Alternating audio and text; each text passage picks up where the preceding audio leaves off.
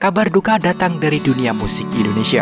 Penyanyi Rama Aibama meninggal dunia Rabu 11 3 Maret 2020. Kabar duka Rama Aibama meninggal dunia. Dunia hiburan tanah air kembali berduka.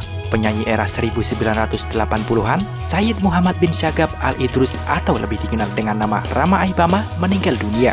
Rama menghembuskan napas terakhir dalam usia 63 tahun. Kabar itu dibenarkan oleh Sam Alatas, salah satu kerabat Rama saat dihubungi awak media. Benar kabar itu, saya dapat dari WA keluarga, kata Sam Alatas. Namun, Sam tidak mengetahui penyebab kematian Rama Aibama. Tapi kalau sakit apa, saya tidak tahu, karena saat ini saya juga ada di luar kota, ujarnya lagi. Rama Aibama dikenal sebagai penyanyi dan penulis lagu yang kerap berpenampilan nyentrik. Busana khasnya adalah pakaian warna-warni mencolok di padu topi khas. Musiknya beraliran Melayu, dangdut, dan keroncong. Dari informasi yang dihimpun sementara, jenazah Rama Aibama akan dimakamkan di tempat pemakaman umum di kawasan Cimanggis, Jakarta Timur. Mengenang Rama Aibama, penyanyi yang populer di era 1980-an. Kabar duka datang dari dunia musik Indonesia. Penyanyi Rama Aibama meninggal dunia Rabu 11 3 Maret 2020. Penyanyi dengan nama asli Sayyid Muhammad bin Syagab Al-Idrus meninggal dunia di usia 63 tahun. Rama Aibama dikenal lewat lagu Dinda Bestari yang populer di tahun 90-an.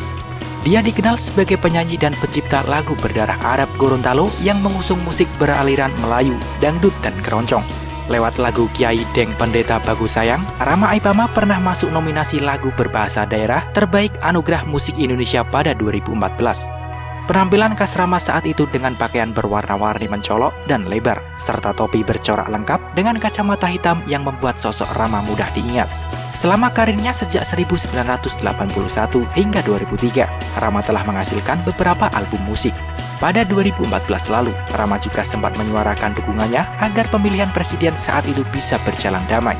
Rama diketahui memiliki tiga orang anak dari pernikahannya dengan Ayus Kartikasari yang telah bercerai darinya tahun 2009.